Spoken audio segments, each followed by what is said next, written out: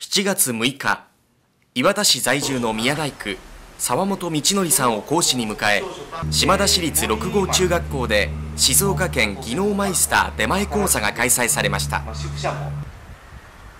沢本さんはホワイトボードに図を描いたり大型モニターで写真を写し出しながら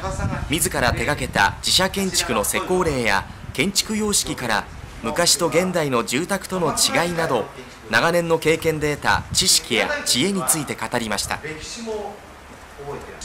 自分自身の職業観についても話されふとある時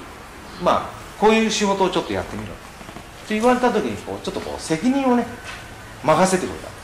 責任ある仕事。おおっと思って。こうやったらねこんなだんだん面白くなって夢を持ってます。夢を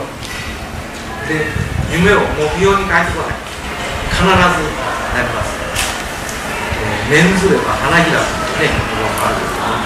と未来を担う生徒たちに熱いエールを送りました。2年生およそ150名を代表して長橋さんが夢を達成するために目標があるというお話が大変印象に残りました。普段の生活や部活動にも役立てていきたいとお礼の言葉を伝えました。